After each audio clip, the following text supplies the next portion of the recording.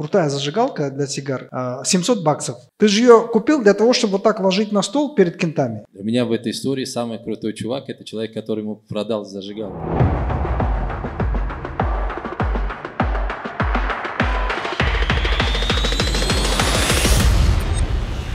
Суперэффективный инвестор, миллиардер.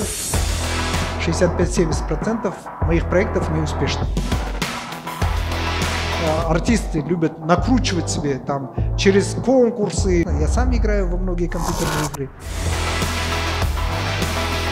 Одна компания продала виртуальных 600 пар виртуальных кроссовок за 3 миллиона 100 тысяч долларов. Покраска автомата в виртуальной игре за 2,6 миллиона долларов. Крутая зажигалка, 700 а, баксов. И ты накачал подписчику, должна быть цель, для чего?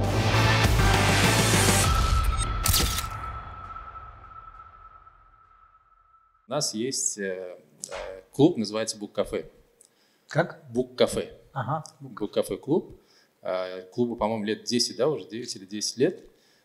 Суть клуба, мы каждый понедельник встречаемся с 9 до 11, и по очереди каждый из предпринимателей, членов клуба, рассказывает про какой-то кейс или про какую-то книжку, которую он прочитал. То есть идет такое постоянное интеллектуальное, скажем, начало недели. Uh-huh. Там больше 50 человек в клубе. Вот здесь сидят, э, скажем, э, наиболее яркие представители этого клуба, скажем так. Uh-huh. Добро пожаловать в наш клуб. Спасибо да, большое. В таком Спасибо. limited edition, скажем так. Ага. Вот. И сегодня предложение провести, скажем, беседу в таком свободном формате. Все предприниматели, у всех есть какие-то вопросы, которые, которые нас интересуют. Вот. Э, ну, есть возможность, уникальная возможность получить инсайта, скажем, от э, такого уникального, легендарного человека. Поэтому предлагаю начать. А, первый вопрос начну сам, наверное, да? А, вопрос инвестиций. Uh-huh. Вот. Многие предприниматели все-таки, ну, есть какие-то деньги, есть там э, какие-то проекты, которые постоянно, скажем, кто-то на стол заносит, рассматривает. Есть ли какие-то принципы инвестирования? Вот наверняка же э, у вас тоже есть проекты, которые мы знаем про успешные, наверняка есть неуспешные инвестиции. Uh-huh. Вот каковы признаки неуспешных инвестиционных проектов? А, ну вот смотрите, признаков на самом деле много, но не всегда они выстреливают. Вообще всегда, когда дело касается предсказания будущего, это все условно. То есть э, вы точно никогда не сможете предсказать. Единственное, что вы можете увеличить вероятность исхода какого-то события. Поэтому, когда говорят про признаки успешного проекта, то подразумевается, что признаки, которые увеличивают вероятность, но не факт, что этот проект будет успешным. По-любому. Потому что если бы какой-то человек знал а, признаки успешного проекта, то это был бы суперэффективный инвестор, миллиардер, а, а такого не происходит. Поэтому а, признаки признаками я сейчас расскажу вообще механику или принцип инвестирования. Принцип инвестирования заключается вот в чем. А, у меня на самом деле очень много неуспешных проектов. Очень много. 65-70% моих проектов неуспешны. Почему? Проблема, а, и причем мне говорят, а у вас вон тот э, закрылся проект, тот закрылся. Я говорю, да, все закрылся, правильно. Не просто закрылся, я закрыл. Я закрыл, зафиксировал убытки и так далее. Почему? Потому что обыватель, обычный человек думает так. Вот у меня есть 10, буду делать 10 инвестиций, из 10 инвестиций я, если 6 отгадаю, то я в прибыли. Если 4, то э, ну, там нормально, я в прибыли. То есть они пытаются из 10 отгадать 60%. Это не под силу ни одному человеку. За редким, наверное, исключением уникальным. Поэтому я, когда инвестирую, я изначально себе отдаю только одну треть, что я отгадаю. 33%. При всем моем знании, при всем моем опыте, при том, что у меня чек-листы, при том, что я знаю характеристики успешных команд, проектов и так далее – я себе изначально даю только 33% шанса, что я отгадаю. Ну, поставлю на хороший проект. Как складывается математика? Математика складывается таким образом. Она строится на принципе, таком принципе. Это еще Рэй Далио, основатель крупнейшего хедж-фонда, бридж, бридж фонд, как Bridgewater Capital. Он сказал, важно не то, сколько вы зарабатываете на том, что знаете. Важно, важно то, сколько вы теряете на том, что вы не знаете, и сколько вы зарабатываете на том, что знаете. То есть, смотрите, э, принцип такой. Я исхожу из того, что я делаю математику таким образом, чтобы проиграв в 70% случаев и выиграв только в 30%, при этом оказаться в прибыли. Как это достигается? Это достигается таким образом. Например, ну, для примера, как биржу возьмем. Я фиксирую убыток на уровне 5-10%. Если я фиксирую убыток на уровне там, 5%, то 7 проектов на 5, 35% потери капитала. Но по трем проектам, если я заработаю прибыль по 20%, то это 60%. 60 минус 35, 25% я в прибыли. То есть я управляю не проектами, я управляю портфелем. Поэтому управление проектом и портфелем – это две разные э, позиции, две разные психологии, разный подход. А, и, а, к сожалению, простые люди это до конца не понимают. Они а, считают такую простую математику. А считать надо не простую математику, потому что когда ты инвестируешь, смотрите, когда ты инвестируешь, очень важно понимать, что ты здесь в, каком, в какой-то мере начинаешь работать на статистику, и э, должен, твое мышление должно быть как у страх, хорошей страховой компании. Когда нет уже страховых компаний, которые говорят, вот я э, там буду везде выигрывать, э, угадывать. Поэтому это то что, то, что касается математики инвестирования. Теперь то, что касается общего, еще общего подхода. А, я до того, как инвестировать, э, я смотрю, ну теперь нужно же определить, э, увеличить шансы, вероятность. Я что делаю? Я а, разделяю а, таким образом, визуально. Все инвестиции или рынки я делю на три категории. Не на три категории, а по двум параметрам. Первое – это глубина водоема. Вот представьте водоем, да? Глубина водоема и размер водоема. Размер, количество воды в водоеме. Так вот, размер водоема – это количество населения страны. То есть а, любую страну я рассматриваю как водоем. А, размер водоема или количество воды – это количество населения страны. Глубина – это доход на душу населения. Соответственно, чем больше водоем и чем глубже, тем лучше зарабатывать деньги. Почему? Потому что а, есть такие, такое понятие прилив-отлив. А, есть такое правило, а, прилив поднимает все лодки. Независимо эффективный, неэффективный, все поднимает. Поэтому а, и прилив, его легче предугадать. Но прилив, он бывает только в океанах, больших водоемах, глубоких. Такие страны я называю, это вот США, это и Китай. Это те страны, где реально они большие и глубокие, где можно на приливы поймать. То есть, если ты поймал тренд, ты можешь круто поднять. Э, даже будучи проинвестированным не в самую эффективную компанию отрасли.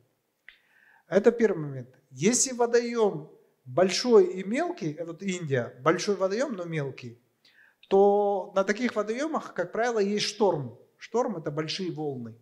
Большие волны тоже угадать э, ну, сложнее, чем прилив-отлив, но можно. И на них можно хорошо заработать тоже.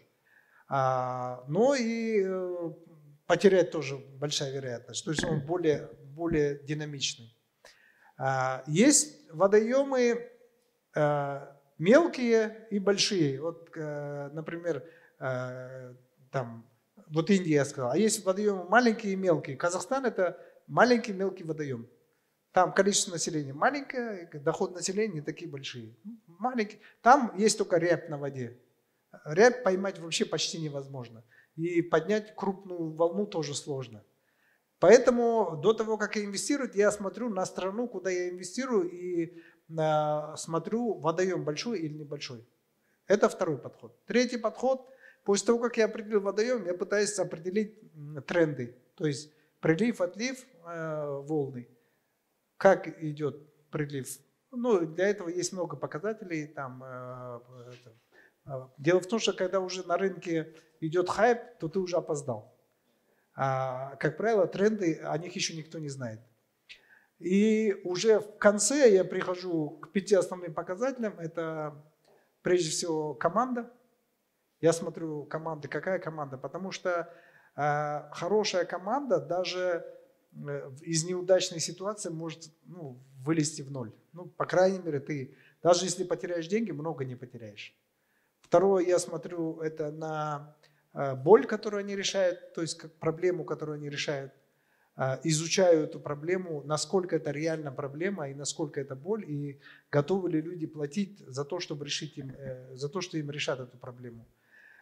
Третье, я смотрю это на то, как они собираются монетизировать. То есть одно дело решать чужую проблему, а ты должен как-то жить, кормиться, жить. Вот как они это, то есть это модель, бизнес-модель а, бизнеса.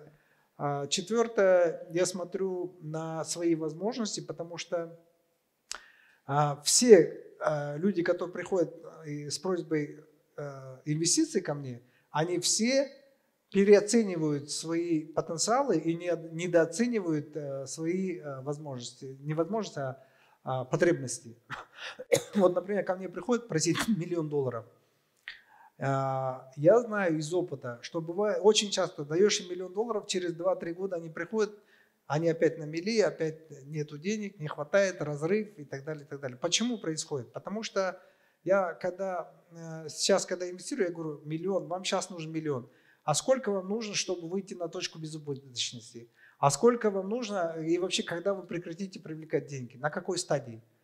И для меня важно понять не сколько инвестиций нужно в этом раунде, а сколько вообще инвестиций нужно в компанию. И потом уже беру э, и думаю, какова вероятность, что найдутся еще следующие инвесторы. Потому что если следующий инвестор не найдется, то мне опять придется их поддерживать. Соответственно, я считаю потенциально, сколько я должен еще довложить.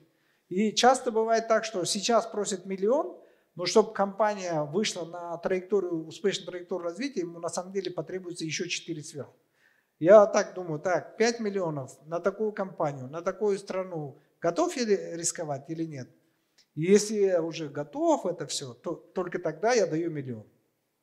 Потому что я не хочу оказаться на раскорячку в ситуации, когда ты дал миллион, и чтобы его спасти, ты должен еще дать два там, потом еще что-то. Ну все же, возвращаясь к вопросу а, про неуспешные проекты. Вы же исследователь, изучатель... Э, да, по неуспешным проектам да. там... Э, Критерии, раз, два, три. Своя, там э, свой алгоритм действий.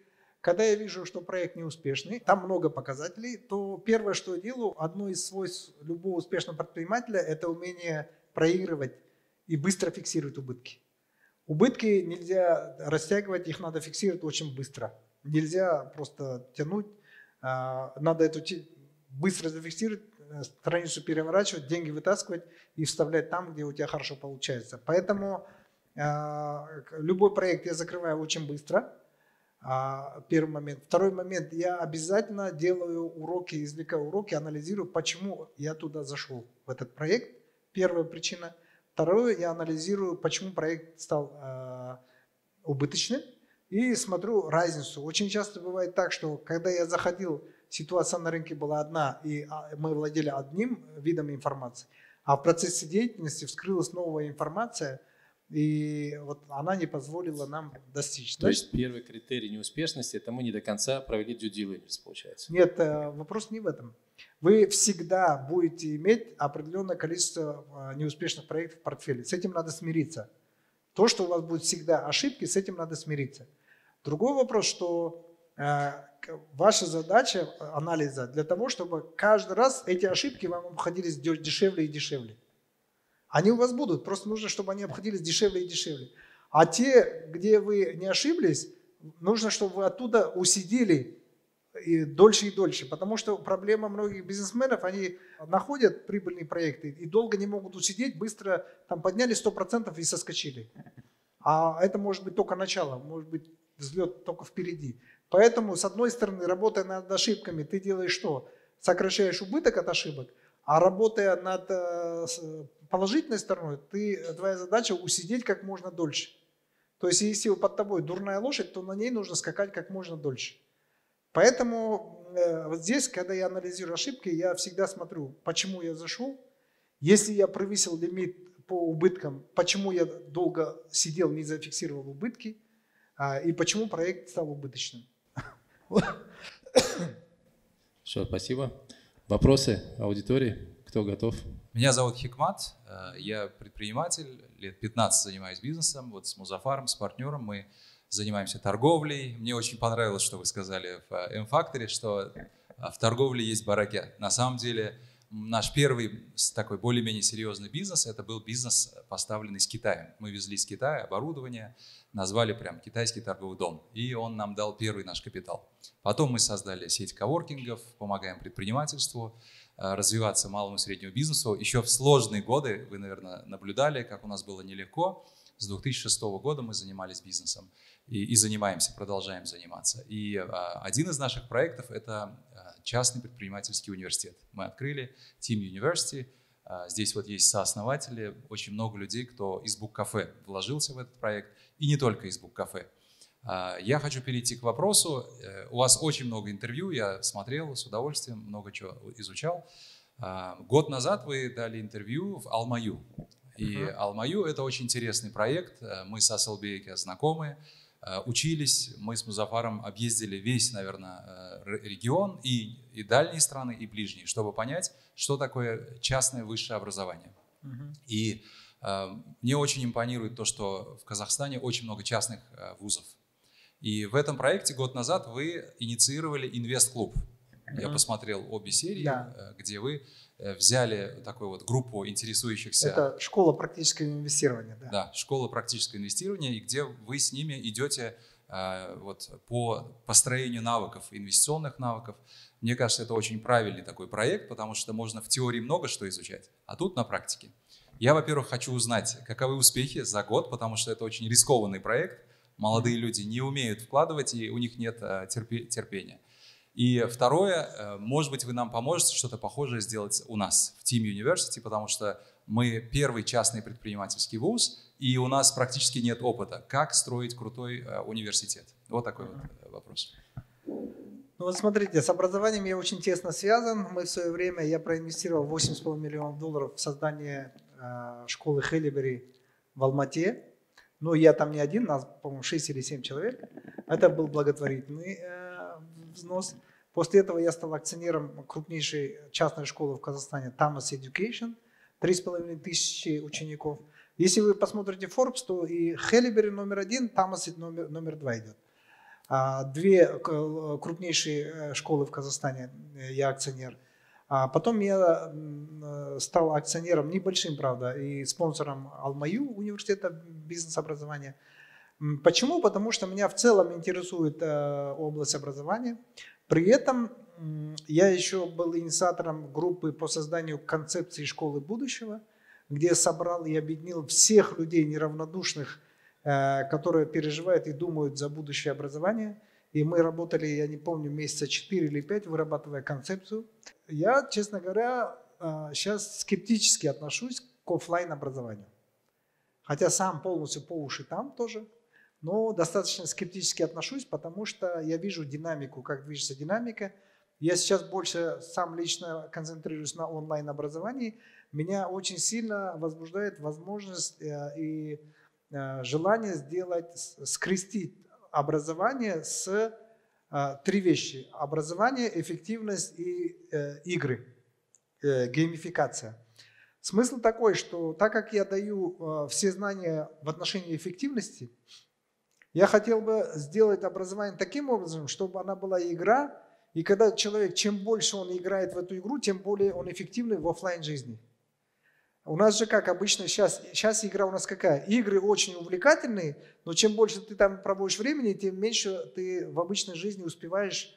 И, соответственно, отсюда конфликт, родители ругают, жена ругает и так далее. А играть-то хочется, игра интересна. Я сам играю во многие компьютерные игры. А, но я подумал, блин, с одной стороны есть страшный мотиватор в виде э, игровой механики, с другой стороны есть офлайн жизнь, где ты должен быть успешным, кормить семью и так далее. А, с третьей стороны есть моя образовательная платформа, где я качаю вопросы эффективности и так далее, и так далее.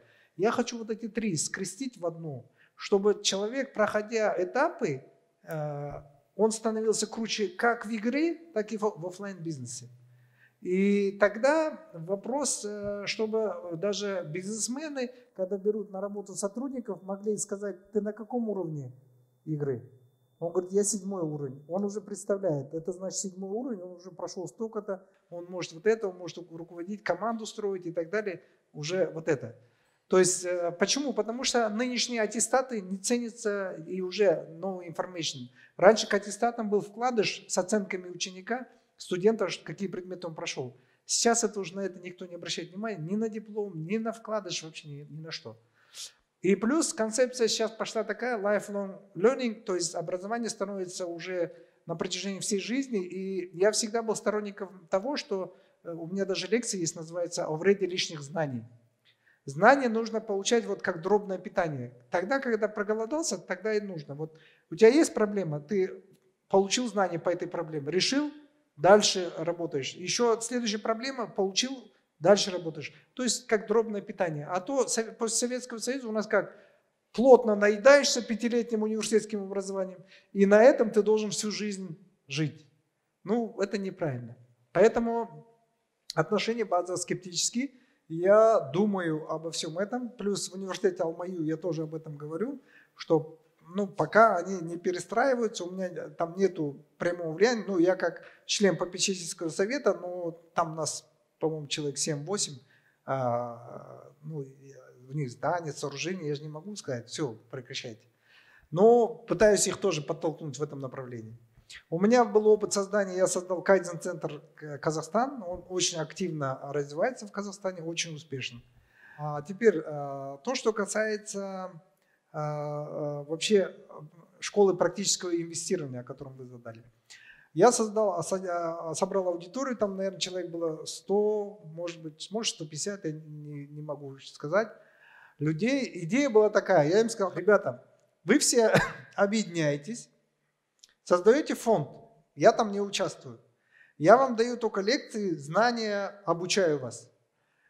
Потом, а, вы как фонд а, создаете, нанимаете юридическую компанию, и юридическая компания, мы сделаем тендер, они будут приходить вам, презентовать свои услуги, вы выбираете юридическую компанию на практике. Я буду только курировать и показывать, на что обращать внимание, на что нет.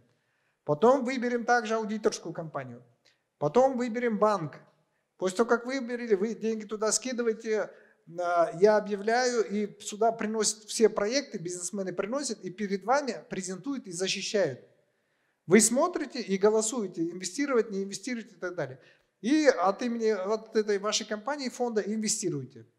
А, и выбирайте менеджмент, кто будет контролировать. Но я просто как ментор рядом с вами иду. Но моего участия финансового нет никакого. Вы мне не платите, я вам не плачу.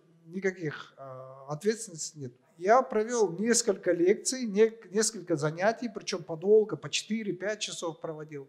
Мы провели тендеры, выбрали лучшую юридическую компанию, мы выбрали лучшую аудиторскую компанию, мы выбрали банки. А все это, но в конце, когда уперлось, нужно было регистрировать уже конкретно ТОшки, а, там люди не договорились. Мягко скажу, не договорились. А почему мы должны, я должен столько платить за юристов, а зачем сейчас им платить, мы еще ничего не зарабатываем, у нас уже расходы и так далее, и так далее. И, короче, я сказал, ребят, так, ребята, когда зарегистрируете, Тогда пойдем дальше. Все, на уровне регистрации все сдохло. То есть э, отсюда я сделал вывод, э, что так не работает. я сейчас э, открываю, еще не сейчас, но планирую открыть. У меня, я создаю экосистему. При экосистеме у меня сначала 8 аккаунтов, у меня 8 аккаунтов в социальных сетях, куча подписчиков. Потом дальше они переходят на мою образовательную платформу Margulan Info где я даю кучу видеолекций. А дальше люди, если хотят получить не знания, а хотят практическое применение, результаты, они переходят в бизнес-школу. Бизнес-школа 15 апреля запускается. Дальше они, э, как закончили бизнес-школу, им нужно вот так тусоваться на территории по миру, они переходят э, в бизнес-клуб. Бизнес-клуб мы создаем вместе с Женей Черняком, э, с Big Money. Это у нас общий бизнес-клуб. Это уже среда общения. После бизнес-клуба я делаю инвест-клуб. Вот инвест-клуб, что такое инвестиционный клуб? Инвестиционный клуб достаточно дорогая вещь. Я, так, пока мы обсуждаем в районе 12 тысяч долларов в год э, членства. Но что получает член инвест-клуба? Он получает окошко на мою инвестиционную кухню. Я беру деньги, там 3-5 миллионов долларов и говорю, вот, ребята, я сейчас начинаю инвестировать. А, я каждый месяц говорю, куда я собираюсь инвестировать, почему инвестировать, на каких принципах и так далее. Во-первых, люди это видят, раз. Во-вторых, я нанимаю аудиторскую компанию для аудита, для due diligence, для технического аудита. Какую-то компанию выбираю, делаю аудит и сам плачу эти деньги, члены клуба не платят. Но результаты этих аудитов deal я вывешиваю в группе, они получают бесплатный доступ к аудитам, э, due deal и так далее. Все, второй момент. Третье, когда я договариваюсь с какой-то компанией, я говорю, например, 500 тысяч инвестирую я, но у меня должен быть опцион на 500 тысяч, чтобы могли проинвестировать мои же члены клуба по той же самой цене. А у меня преимущество в том, что когда я договариваюсь об инвестициях, я обычно получаю хорошую цену. Почему? Потому что в инвестируемой компании я чаще всего становлюсь еще и ментором. Соответственно, шансы еще больше возрастают, и, соответственно, люди мне еще дают, я еще а, поддержку даю через соцсети, соответственно, я хорошую цену обычно получаю. Соответственно, чтобы не самому, а члены моего клуба еще могли зарабатывать, я 500 тысяч сам инвестирую, прихожу в группу и говорю, ребята, по такой-то цене я договорился, я свои 500 ставлю, кто хочет со мной ставить, вот реквизиты, напрямую инвестируйте, оформляйте на себя. Я вас денег не касаюсь. Все. Дальше э, ежеквартальный отчет, я, э, мой менеджмент контролирует эту компанию и ежеквартально отчитывается о движении этой компании, о достижениях, что делали, что не сделали. Там будет транслироваться совет директоров в группе, Э, где мы обсуждаем, и я говорю там изменить стратегию, не изменить, что делать и так далее. Все это инвест, члены инвест-клуба в группе могут видеть, как прошел совет директоров, что я предлагал, что это, куда компания движется и так далее. И получается, человек, покупая годовое членство, он как бы просто как рюкзак мне на спину прыгает и все, и все видит, все слышит, и параллельно со мной может заработать как-то фильтруете, кто могут быть членами клуба? Конечно, я буду фильтровать, потому что там будет заявка. Вот сейчас у меня, например, на наставничество а, заявки ну, где-то около 700 человек. Это при том, что годовое наставничество стоит 10 тысяч долларов. А, и я там смотрю, чтобы доход человека, чтобы ему эта сумма не была критичной. Потому что некоторые пишут, я возьму кредит, оплачу наставничество. Вы что, гоните что ли? Какой кредит? Э, вы возьмете кредит, потом от меня будет требовать, чтобы я из вас миллиардера сделал. Да нет, так не работает. То есть э, обязательно э, будет вопросник, у вас должна быть сумма достаточная для инвестирования, чтобы не было на борту просто пассажиров, которые просто хотят наблюдать. Это не школа, это инвест-клуб. Если хочешь школу, бизнес-школа, она стоит гораздо дешевле, там кураторы, преподаватели, тьютеры, бади, там тебя обучат всему это. А инвест-клуб ты Инвестор, ты должен показать, что у тебя есть деньги, что ты готов, и плюс параллельно двигаться. Спасибо. Вопросы? А, здесь вообще совокупный, совокупная капитализация, наверное, участников несколько сот миллионов, может быть, миллиард. Но, правда, здесь тоже работает закон Паретта. Поэтому, да, да я да, думаю... Дай бог, чтобы были миллиарды. Когда я проводил свой 39-й год рождения, я сделал для своих друзей а, такую игру. Золотая лихорадка. Смотрите, прикол. А, мой день рождения, 39 лет, всем своим друзьям, э, близким, но я, конечно, не по капиталу их звал, а отправил а, ковбойцы на лошадях, прям ковбойский шляп по городу Алмате, куча ковбойцев поехала там, 15 друзей я позвал, а, они поехали на лошадях, в офис к ним заходят, там шпоры, сапоги, и вручает папирус, там читает Марглан. И там история была такая, что я якобы все бросил, уехал в глухомань жить, там первое время еле выживал, в конце нашел золото, золотой приз, и там поднялся, стал местным олигархом. Короче, зову их, теперь, теперь поднялся, зову их э, к себе в гости. Но они не знают, что будут делать. Их задача завтра в 6 утра прийти в аэропорт. Все. Ни билетов, никуда. Не знают где. И они приехали в аэропорт, в 6 утра их посадили на чартер и в Усть-Каменогорск. А Усть-Каменогорск, знаете, да, ну, Сибирь почти. Прилетают, их сажают, везут в отель, там написано «Добро пожаловать в отель» и так далее. А следующую инструкцию вы найдете э, в этой комнате. Все. Как, какая инструкция там? У одного, например, инструкция гласит так, «А, пойдите купите патроны на медведей. А в городе три охотничьих магазина, я с одним договорился, ну не я, а организаторы договорились, что если придут просить патрон на медведей, он дает патрон, и в одном патроне записка с э, следующим этап, этапом. А у кого-то в, в, в шкафчике там как-то тоже замаскировано. Короче, они должны, и у каждого, как дальше, они же не знают, что делать. Идут в магазин, и у продавца спрашивают, у вас есть патрон на медведей? А я знаю, что всего три магазина, он в одном пойдет, тот скажет нету, в другой пойдет, тот скажет нету, он придет тот третьему и найдет, короче. И, короче, они таким образом собрались в одной точке там, за Усть-Каменогорском, 20 километров, но разными путями. Их всех грузят на ГАЗ-66, Шишига с таким низким кунгом. И по колдобинам везут, там то все это везут. Должны были вертолетом вначале, а там туман был, снег, вот такие хлопья шли 2 ноября.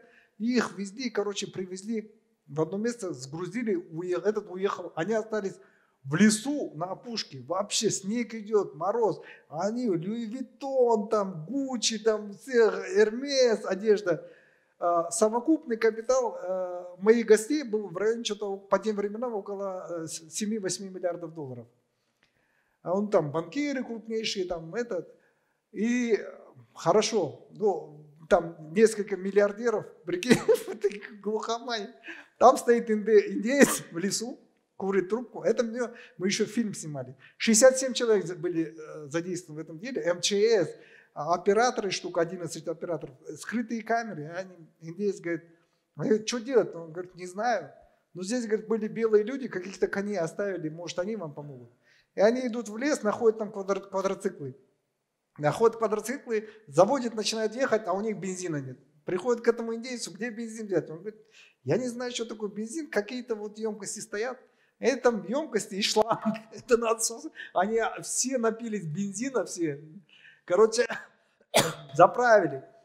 После этого э, индеец говорит, когда вы будете ехать, когда вы будете ехать, смотрите э, на какие-то знаки. Если что-то необычное, то там могут быть э, теплые носки, одежда, либо питание. И вот, короче, они ехали, закончили на горе, потом по трассу спускались через бурную горную реку, потом час плыли на катамаранах, промокли все полностью, сейчас на катамаранах, потом вылезли им целый рог водки, они выпили водки. После того, как выпили, им сказали, говорит, а он говорит, что дальше двигать? Я говорю, не знаю ничего, вон на дереве бутылки висят от виски, там какие-то записки. И они должны были с мелкашки, а дерево высоко, лезть невозможно, сбить эту, эту э, бутылку, а там записка. Короче, если не сбил с трех, три патрона, не сбил, то можешь подняться на гору к бабке какой-то, она знает ответ. Они поднимаются туда, кто не попал. Поднимаясь туда, бабка говорит, вот тебе еще один патрон, больше ничего помочь не могу. Короче, короче, потом приходит записка, там нужно взять лошадей, едут на лошадях, а там спереди идет в лесу человек с рогом горным, и они на звук должны за ним идти. Еще час, в конце приходит, короче, там река, и я 20 метров участка закопал там золото в разных местах, и они должны, кто первый придет, тот застолбит 50% речки, кто второй 50%, а то 50%, и вот так. Но не факт, что ты первый пришел, и у тебя больше шансов, ну, больше золота. В конце оказалось, что тот третий пришел, тот нашел главный приз. Ну, вот такое день рождения. Я к тому, что э, совокупный капитал это было в каком? В 2006 году. Ну, они с вами общаются? В пятом, пятом. Они, а, они офигели, это было такое, это, они офигели, говорят, это что за, блин, постоянная неизвестность, постоянная. Вот я их из зоны комфорта выдернул тогда таким образом. Они думали, это, ну, день рождения, там, чартер, начало было неплохое, а в конце, а в конце уже назад не могут съехать. Смотрите, как сейчас происходит бизнес. Раньше бизнес был такой, у тебя есть завод, ты что-то произвел товар, все, ты царь горы, ты продаешь товар, ты крутой.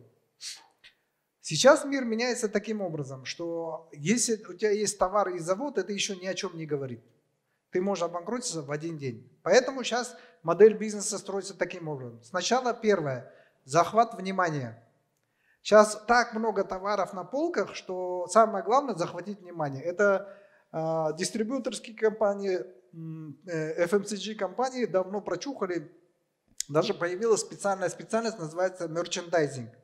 Мерчендайзинг, кто к розничной торговле имеет отношение, прекрасно понимает, что такое.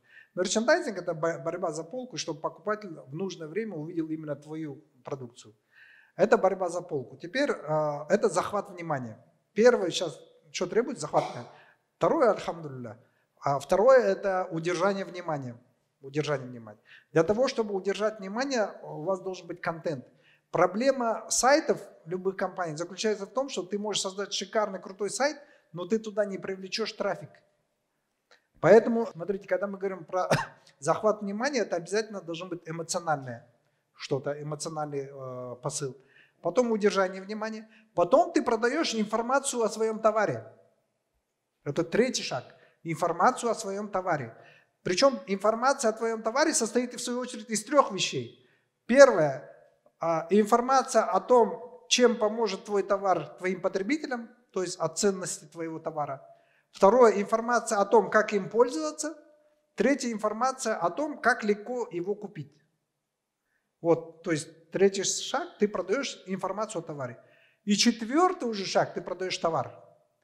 И вся модель бизнеса сейчас придет к этому, что сначала ты захват, должен захватить внимание, потом удержать внимание, потом продать информацию о своем товаре, а потом только продать товар. Поэтому я сейчас больше упор делаю на социальные сети.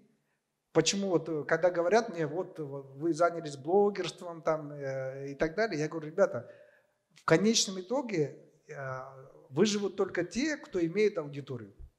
Если у вас нет аудитории, то у вас перспективы будут только э, производить товар для тех, кто имеет аудиторию. Потому что когда у тебя есть аудитория, у тебя есть внимание – то ты можешь продать любую продукцию, просто приходишь на завод и говоришь, под моим брендом выпусти кроссовки, он тебе выпустит. Вот как Кенни Уэст, бывший муж Кардашьян, да, там бешеные деньги заработал на кроссовках каких-то. Да также он может хоть на чем заработать, какая разница. Поэтому я считаю, будущее, если брать то будущее, которое коснется всех нас, это будущее, это умение управлять, захватывать и управлять вниманием своих потребителей. Кто обладает трафиком, тот стерегет других. Короче. Раньше мерились длиной, а, ну как помягче сказать, яхт. Да, сейчас, сейчас количеством подписчиков, да? Как, раньше мерились длиной яхт, сейчас количеством подписчиков. На самом деле многие люди недопонимают, что количество подписчиков это на самом деле, смотрите, э, я вывел такую форму. Количество подписчиков а, а, и уровень доверия это является твоей капитализацией. Почему? Потому что есть люди, и много таких, у которых много подписчиков, но они, грубо говоря, ни хрена им продать не могут. Ну и грош цена таким подписчикам. Особенно те, которые э, артисты любят накручивать себе там через конкурсы, викторины, там iPhone разыгрывать. И ты накачал подписчиков. Должна быть цель. Для чего? Для чего качать подписчиков? Какой толк, если ты их продать не можешь? Они думают, что э, они будут зарабатывать на рекламе. Но рекламодатели не дураки же, это же бизнесмены. Они приходят, берут метрику твоего аккаунта, смотрят, сколько лайков на пост, сколько комментов на пост, смотрят реакцию аудитории на твой пост и так далее. И скажут, слушай, у тебя, конечно, там 5 миллионов подписчиков, но я тебе заплачу, как будто у тебя 10 тысяч. Поэтому очень важный параметр. Первое, количество подписчиков – Второй важный параметр э, – доверие. Насколько подписчики готовы реагировать на твой призыв что-то купить. И вот это дает твою капитализацию. Так вот, эта капитализация – это реальный бизнес и реальные деньги. Причем я считаю, что в этом такой потенциал, что э, условно возьмем феномен Кардашьянов. Они же миллиардеры. Что у них есть? Кто-нибудь может вспомнить какой-нибудь завод, фабрику, кроме большой жопы, извиняется? Тоже капитал. Только количество подписчиков количество подписчиков. Количество подписчиков, и они любой бизнес могут вот так раскрутить, вот так. Сейчас еще растет новое поколение молодежи, и COVID этому помог, что люди перестали ходить в магазины, все онлайн покупают. Я сам большинство товаров покупаю через Amazon. С Америки мне везут. Даже там э, этот э, бальзамик, оливковое масло. Я все покупаю с Амазона. Это я живя в Алмате, не говоря про одежду и так далее. А, перец, специи какие-то там, японскую сливу. Я все с Амазона покупаю. В наших магазинах я покупаю только хлеб, молоко, сметана, такие вещи. Но они, как правило, кто, кто знает розницу, это, как правило, не маржинальные продукты. Это те, которые привлекают покупателей, но на них сети не зарабатывают. Так вот, э, я считаю, то, что у нас всех коснется, это молодежь, она перестает. Особенно в Казахстане это хорошо начинает заметно быть. В Америке сейчас даже карандаши, ручки заказывают через Amazon. Если посмотрите, вот в американских городах, когда едете, уже раньше э, такая была сцена. Американские дома и газеты лежат на газонах. Мальчики бегут, а сейчас посылки Амазона. Вот по улице посылки, посылки, посылки, посылки, посылки. Потому что люди покупают все онлайн. И это коснется всех нас, независимо это казахский бизнес, узбекский бизнес и так далее.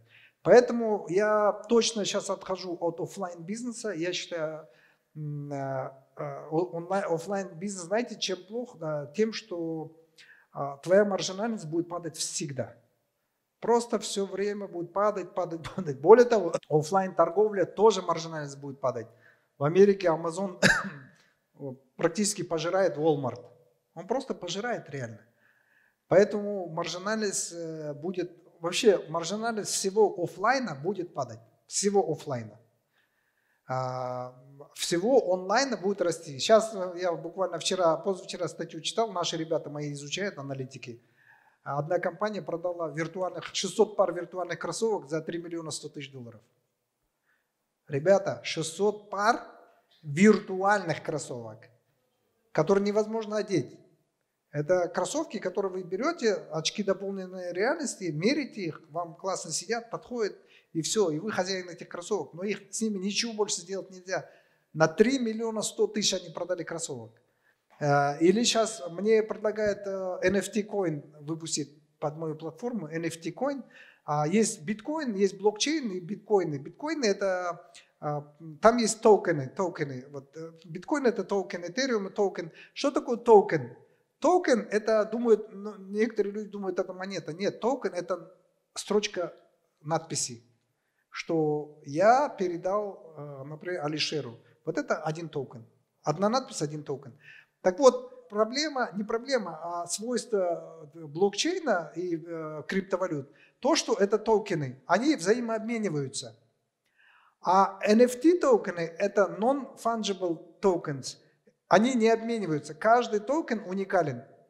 Э, если вы смотрели, Банкси, Банкси сейчас художник, он взял, нарисовал картину, перевел это в NFT токен и сжег картину. Картина сейчас э, он продал э, за 85 миллионов долларов, но пока рекорд установлен, одна картина была продана за 69,1 миллион долларов. Виртуальная картина, виртуальная. А основатель Твиттера Дорси, Дорси, да?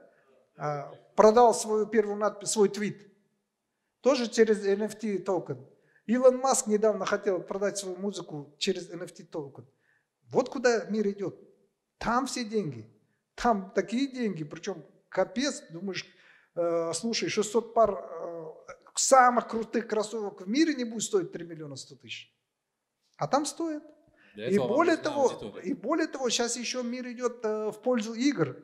Я просто знаю очень много игр, очень много игр, а, где целые сообщества, где вот недавно только мы разбирали одну игру, я император называется. Это а, игра, совмещенная с социальными сетями, где там э, целые страсти кипят нереально. Люди женятся друг на друга, там настолько плотно у них общение, они в Телеграме обмениваются стратегиями, у них роли, кто что делает в этой игре и так далее. И там ходят реальные деньги, там мой племянник говорит, недавно мы бились с одним кланом, говорит, так у этого корейца, говорит, доспехи, доспехи на миллион долларов. А я говорю, а откуда, откуда ты знаешь, что это миллион долларов? Он говорит, там есть э, таблица доспехов с ценами. Там у нас, говорит, официальная таблица, хочешь доспех купить, это стоит 100 тысяч долларов, 10 тысяч, 5 тысяч долларов и так далее. И у него доспехов, говорит, на миллион долларов. Или недавно продали скин, скин на автомат, э, по-моему, Counter-Strike или Fortnite. А, автомат, там же скин это покраска автомата. За, по-моему, за 2,6 миллиона долларов. Покраска автомата в виртуальной игре. Можете представить? За 2,6 миллиона долларов. Вот куда движется мир. А мы офлайн, я смотрю, я, у меня сердце кровью обливается, когда я вижу предпринимателей э, с заводом, который я обойти не могу пешком. И которые, э, блин, еле-еле концы с концами сводят. Ну, это же вообще когда... И, ну, проблема в том, что мы не можем судить о справедливости или несправедливости в этом плане. Э, я же не так, что если я буду говорить, нет, это несправедливо, я не буду туда инвестировать, но это совсем не значит, что мир туда перестанет идти. С этим ничего не поделаешь. У меня э, такой вопрос по поводу э, shared economy и owned economy. Вот э, тенденция э, на Западе, которая происходит активно очень, это вот последняя Generation Z, она э, не заточены под то, чтобы чем-то владеть, они э, что-то арендуют обычно. Они не владеют домами, они не владеют, не покупают автомобили, они берут одежду в аренду. Э, э, как, какие перспективы вот этого рынка вы видите в нашем регионе? Э, светит ли нам это и как скоро это будет? Или мы остановимся сначала, дойдем до own, ownership economy, а потом будем переходить плавно, как и на Западе, на shared economy? Или, или мы сразу перейдем на этот этап? И на рынке у нас вот сейчас э, с партнером э, бизнес э, аренда автомобилей. У нас такая вот дилемма встала, должны ли мы идти в сторону харда или железа, да, и владеть своим парком, либо мы должны сфокусироваться на платформе и привлекать инвесторов на железо. Смотрите, sharing economy – это еще один знак, который показывает изменение интересов людей люди уже не хотят чем-то владеть. Потому что люди понимают, что любой автомобиль это просто железяка. Ровно до тех пор, пока он не довезет меня из точки А в точку Б. Соответственно, э, люди не хотят этим владеть, люди хотят оттуда извлечь только пользу. Их интересует только польза, а не автомобиль. Соответственно, если я могу на Uber из точки А в точку Б поехать, то зачем мне владеть Мерседесом, если есть Uber там какой-то VIP, э, что ли. Ну, раз, поехал, все. Смотрите, еще такой момент. Э, есть такой феномен. Чем беднее человек, тем сильнее он хочет иметь. Это такое правило. То есть он хочет владеть, владеть автомобилем, владеть домом, владеть всем, владеть. Это психология бедного человека. Проблема, вот эта психология загоняет его еще больше в долги, потому что любое владение, они не считают стоимость владения. Потому что с момента, как ты что-то купил, с этого момента ты попадаешь на налоги по автомобилю, на ремонт, на обслуживание, на водителя и на аварию, страховку, и понеслась. То есть это любое владение, как мой один товарищ купил э, однажды зажигалку э, Давидов. Крутая зажигалка для сигар. Э, 700 баксов. Пришел позолоченно, на стол положил, я говорю, ну, Ясно, говорю, на 5 штук попал. Я говорю, да нет, ты что, это зажигалка, говорит, ну, а супер дорогая, говорит, 700 баксов я купил, говорит, какие 5 штук? Я говорю, я об этом и говорю, купил ты за 700, но это тебе выйдет в 5 штук. Да нет, как оно мне может выйти? У зажигалки ноль э, стоимость владения. Я говорю, да, у зажигалки ноль стоимость владения. Но ты ее купил не для того, чтобы огонь извлекать. Ты же ее купил для того, чтобы вот так ложить на стол перед кентами. Согласен? Согласен. Хорошо. Значит, ты должен что-то теперь поджигать. Ты же должен поджигать сигару, а он сигары курит. Ты должен поджигать сигару же при кентах. Иначе ты просто положишь, не подожгешь, это что, просто понты? А здесь ты как будто бы ее купил как зажигалку. Поджигаешь, хорошо. Ты при мне не, не будешь курить дешевые сигареты? Сигары. Ты же будешь при мне купить, курить Давидов, там какие-нибудь там э, дорогие сигары. Согласен? Согласен. Э, сигары сколько стоят? Во-первых, их в Казахстане нет, ты их будешь заказывать в Америке, в Амазоне. Они стоят дорого там, 500 до 1000 баксов стоит там 3 штуки или 4, 4 штуки, по-моему, дорогие. Хорошо, дальше. Сигары же они высыхают, значит тебе нужен хумидор же. Хумидор это 2,5 минимум, начинается от 2,5 до 5 тысяч баксов. Хумидор для хранения сигарет, сигар с определенной влажностью, температурой. Так, так. Дальше, для, чтобы сигары прикурить, нужен же катер. Катер тоже от 300 до, до 500 долларов. Катер. Так, так. Дальше, а, ты вот это все покупаешь, это же доставка, доставка. Дальше, когда ты это все куришь, ты же не будешь сухую, ты же обязательно закажешь коньячок, либо виск, вискарь. Так? А я закажу в это время чай, причем ягодный. Ну ты каждый раз при встрече со мной будешь попадать на вискарик, либо на коньяк. Так? Ну так.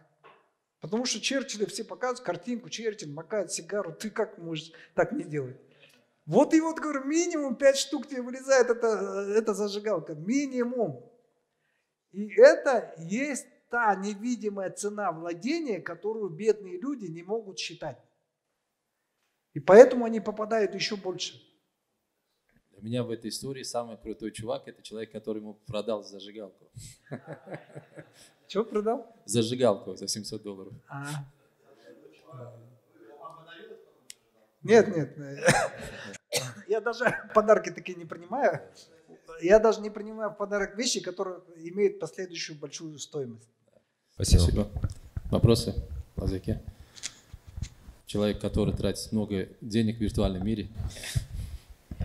Два бизнеса, да, бизнес и стартап.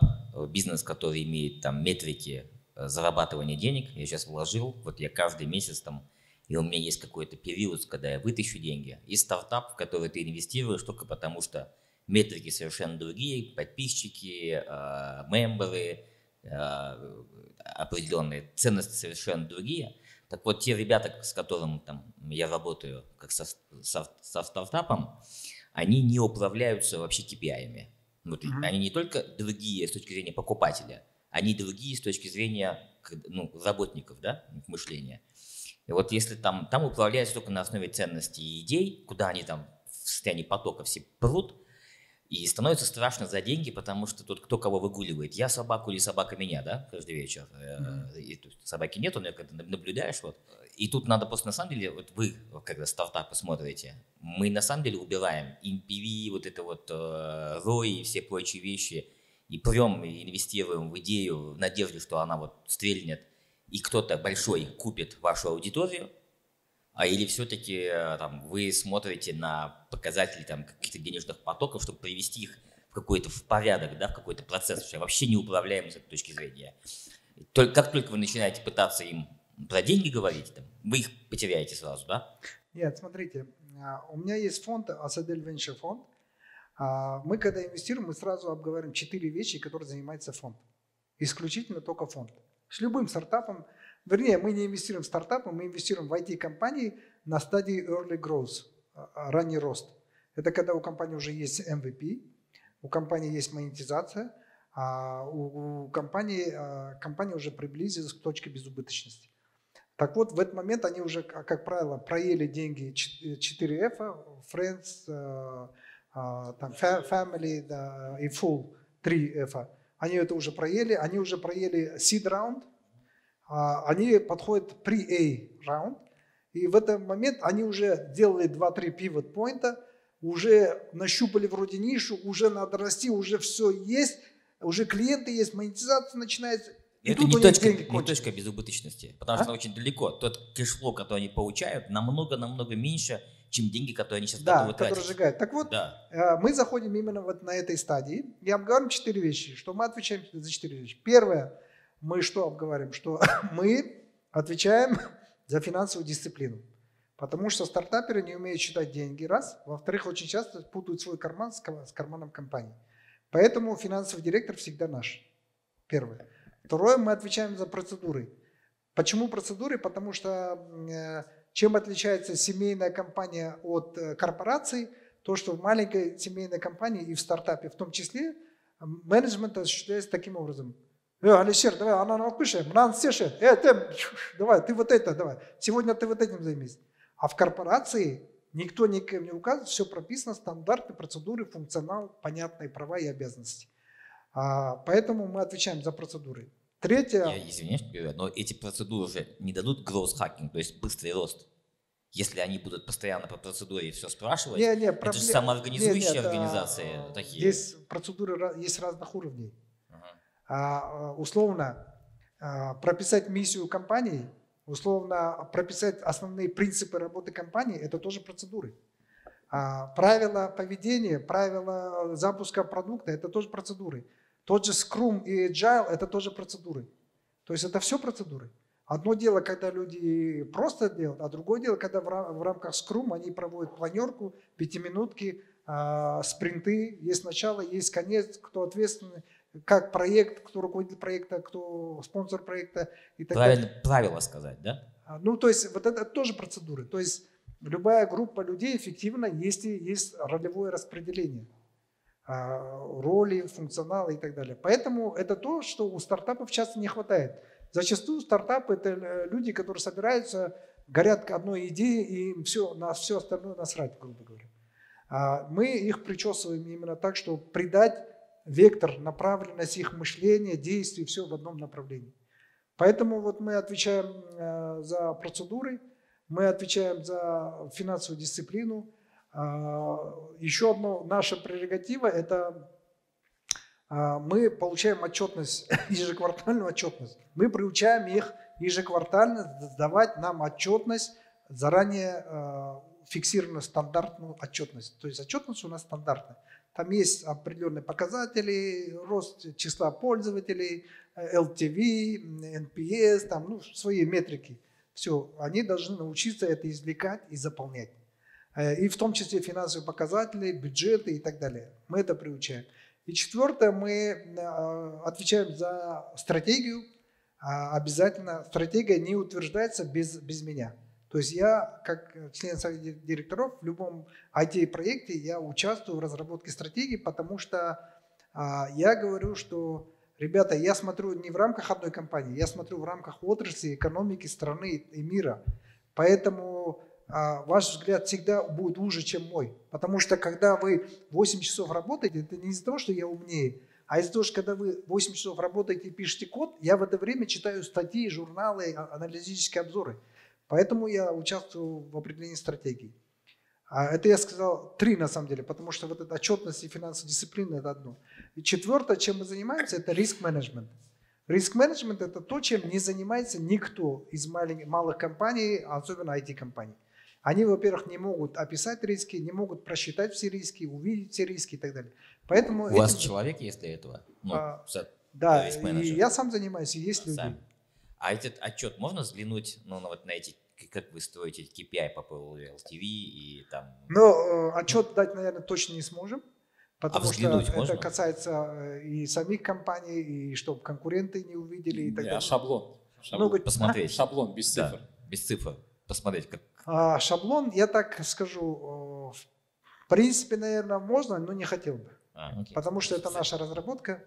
Это наша разработка, она пойдет по рынку, ну, не хотелось бы. Деле. Ну, вы понимаете, потому что вот этот шаблон, он пришел к нам из опыта, мы его меняли несколько раз. Но почему мы шаблон делаем? Потому что у меня много IT-компаний, чтобы сравнивать а, яблоко с яблоком, апельсин с апельсином. Иначе, если шаблона нет, получится ты яблоко сравниваешь с огурцом или яблоко там э, с кошкой. Чтобы они были сравнимы, мы вывели специальные метрики, через которые мы можем проверять любую IT-компанию, друг с другом сравнивать и смотреть, насколько наши эффектив- деньги работают эффективно. Спасибо. Вопросы? А, Меня зовут Мурат. Мы занимаемся промышленной химией. Вы в начале нашей беседы сказали, что вы очень плотно а, занимаетесь проектами по образованию. Мне интересно, есть у вас а, в проектах или а, какие-то собственные проекты по научным исследованиям? Там, инвестируете ли вы какие-то проекты, где там ну, нужно как бы фундаментальную науку поддержать или там? Научные? Да, То есть инвестирую ли я в научные проекты? да, да. То есть, А. которые требуют больше времени, больше там, которые не выстреливают сразу, как бы, да? Смотрите, а, вопрос такой. а, Можно последний, потому что нам ехать. Все. Да. А, Смотрите, а, наука тоже, к сожалению, устаревает. А сейчас идет деградация, ну у нас деградация Академии наук везде произошла, в Америке сейчас тоже эта деградация идет, потому что центр э, и прикладных, и фундаментальных исследований сейчас переходит в корпорации. А тот же Илон Маск для фундаментальных исследований, по-моему, делает не меньше, чем любая Академия наук э, в США. Поэтому сейчас, во-первых, корпорации настолько сильны, во-вторых, э, уровень продуктов, которые они разрабатывают, э, уже больше тянет на фундаментальные исследования, э, и уже нет отдельной специализации, когда... Раньше была, почему наука нужна была? Потому что все люди были заняты на заводах, фабриках и так далее, и заводы, фабрики вообще не занимались научной деятельностью. А, для того, чтобы даже делать усовершенствование, были центры, там, центры научно-технического, там, что-то такое, прогресса, ну, какие-то, которые помогали заводам что-то улучшать. Сейчас компания для того, чтобы выживать, она должна сама и улучшаться, и двигать науку и так далее. Поэтому, когда я инвестирую в любой стартап, я на самом деле считаю, что этим самым каким-то боком я уже инвестирую в науку. А, по крайней мере, вот у меня есть компания CareSyntax, мы делаем автоматизацию, платформу для операционных комнат по миру.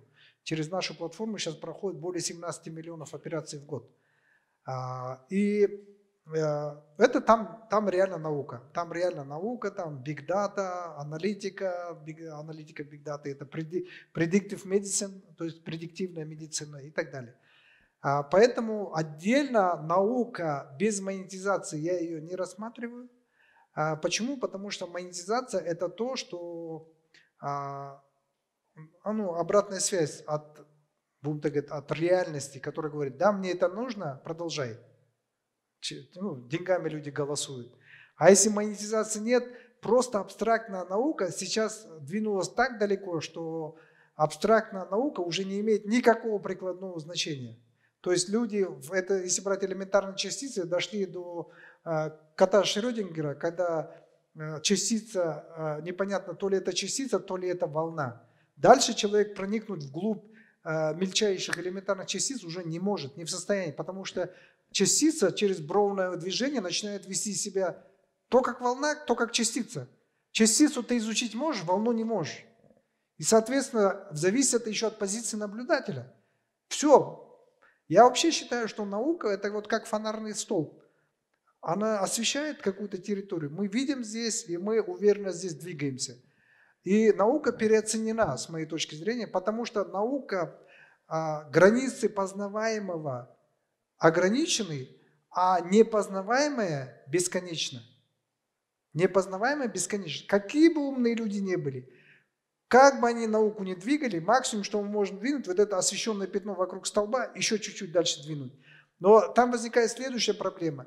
Чтобы выйти на передовую часть науки, ты должен уже с пяти лет специализироваться в этом направлении, чтобы к 70 годам только понять то, что является передовой. А когда у тебя время будет, чтобы открыть дальше? Вы поняли, что, что есть уже человеческая жизнь, человеческая жизнь является ограничителем познаваемого. Все. Ты с пяти лет начал изучать физику квантовую, к 70 годам освоил только то, что уже освоено. Все.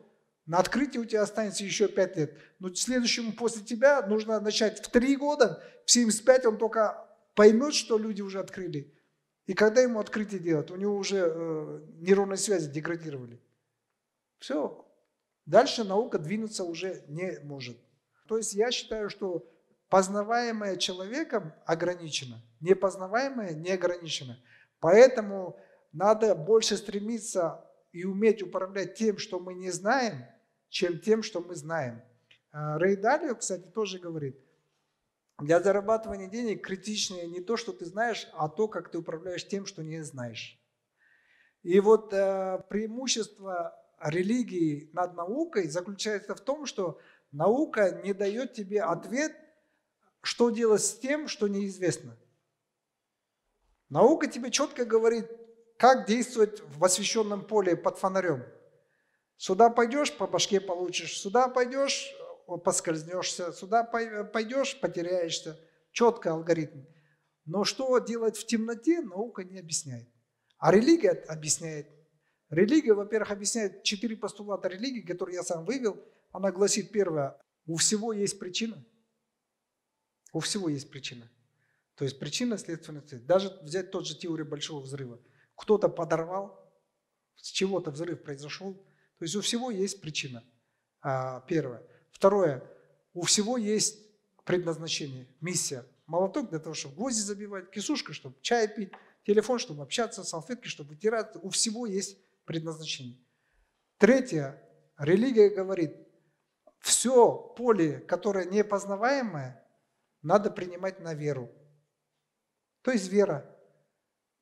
Вера, ты берешь вот эту черную непознаваемую область, выбираешь себе веру и веришь, что это должно быть так. Что такое вера? Вера – это твердое убеждение в то, что не имеет доказательств. А в этом плане, если брать ислам, если вы принимаете веру, интересно, что происходит. Человек, мозг, человеческий мозг так устроен. Я верю в то, что а, мультивариантность Вселенной. Это не противоречит исламу, потому что в исламе говорится, что Аллах – создатель миров. Он Господь миров. То есть миров много, значит. Соответственно, мультивариантная Вселенная. Соответственно, что получается? Что когда ты веришь, ты видишь знаки и чудеса. И, ты еще больше убеждаешься в том, что да, есть Создатель. И вот это все темное, которое под столбом освещено, понятно, как действовать, а как действовать с непонятным, ты действуешь на основе правил религии. Избегай сомнительного, не знаешь, спроси у знающего и так далее, и так далее. Поэтому все свои знания я проверяю через четыре фильтра.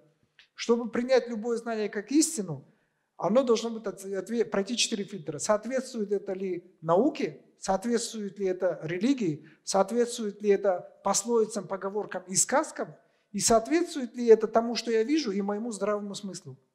Если вот это соответствует всем четырем критериям, я считаю, что это знание истинное. И на, на основе этого знания уже дальше строю свою деятельность. Когда заканчивается э, влияние науки и вы считаете ли истинно, что не подтвержденная наукой, но есть в сказках? Я бы так сказал. Я а, даже то, что подтверждено наукой, все не воспринимаю на веру. Потому что у меня с супругой часто спор. Я говорю, вот сейчас э, ученые говорят, что вредно вот это. Слушай, я достаточно прожил и помню, когда ученые утверждали, что яйца вредные, жир вреден. Сейчас везде говорят, жир полезен. Холестерин полезен, просто есть другой вид холестерина. Просто говорю, подожди, сейчас появятся другую, другие ученые, которые скажут, что вот это то, что ты, ты делаешь, оно вредное. Понимаете, наука тоже это не что-то такое незыблемое. Если брать э, законы э, квантовой физики, там же тоже постоянно изменения.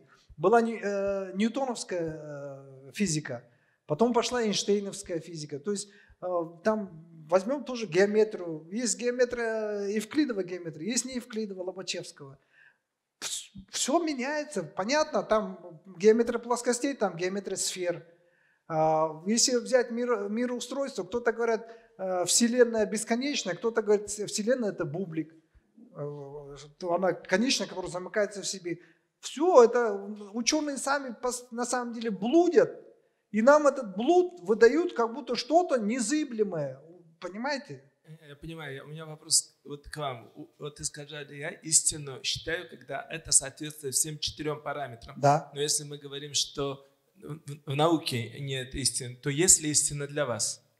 В науке истины? Не, ну если в науке даже нет истины, есть ли истина для вас? То есть я, вы я, сказали четыре фильтра, через да. которые он я, я считаю так, смотрите. Берем простое правило. Избегай сомнительного. Это из, из ислама. Ислам говорит, избегай сомнительного. Хорошо, я смотрю а, теперь, как это работает, например, в науке. Наша цифровая экономика, она эффективнее, чем аналоговая. Так вот, в аналоговой 50 оттенков серого, а в цифровой либо белое, либо черное. То есть азбука Морзе, код компьютерный. Э, азбука Морзе что такое? Сигнал есть, сигнал нету. Сигнал есть, сигнала нету. А, компьютерное кодирование. Единичка – ноль, единичка – ноль.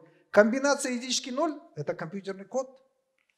А, поэтому избегай сомнительного, это значит, что у тебя не должно быть 1,25, 1,75. У тебя должно быть либо единичка, либо ноль.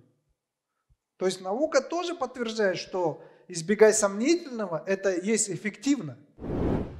а, возьмем пословицы там условно. Не знаешь броду, не суйся в воду. Там, э, что еще? Ну, много можно придумать. И в каждом этом оно соответствует. Я для себя принял, избегая сомнительного, это я воспринимаю как правило и буду использовать, потому что это подтверждается всеми этими четырьмя. Все. Вот. И, и дальше, не знаешь, спроси у знающего. Тупое вроде правило, ну, с ислама, да, но это не тупое. На самом деле это говорит, укроти свою гордыню. Во-первых, там много э, моралей. Укроти свою гордыню, прекрати считать, что ты все знаешь, и вообще перестань верить знаниям, которые ты думаешь, что ты знаешь. Подвергай сомнению даже мнение ученых. Понимаешь? А когда ты подвергаешь сомнению ученых, это не значит, что ты э, скептик. Нет, это значит, ты будешь свой мозг, и ты начинаешь сам думать, а что же тогда, если это не это? И это побуждает тебя мыслить, размышлять. А в исламе а, многие не знают, я говорю, вы знаете, что два самых почтенных, э, э, почтенных вещи, это первое слово в исламе, которое пришло, это икра, читай. А второе, час размышлений равен ночи молитв. И даже в Коране говорится, Аллах говорит, я эту книгу дал вам для людей мыс... Э, разумеющих и размышляющих. Он не сказал, я вам дал инструкцию, тупо выполняйте. Или закройте рот, делайте то, что я вам сказал. Он же так не говорит. Он же говорит для разумеющих, для людей разумеющих, для размышляющих. Учитывая ограниченность времени, второй раз мы применяем тайм-менеджмент, который вы сказали, нам не нужно. Да? Поехали, а, уже опаздываем. Да, да, да, да. Большое спасибо, что а, уделили нам время. Да, а, спасибо большое. Да, спасибо. Надеюсь, какая-то польза была.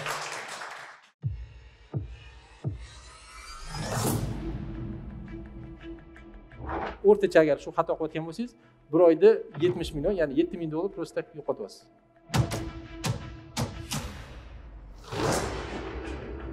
lekin bu narsani to'g'ri yo'lga qo'ymasanglar bozordan chiqib ketasizlar.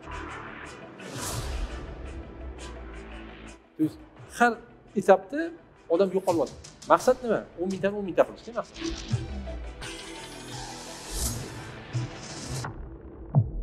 Professionalman degan tadbirkor akalarimizga qachondir bir marta kelib qatnashib ko'ringlar effektini aniq bilaman sezasizlar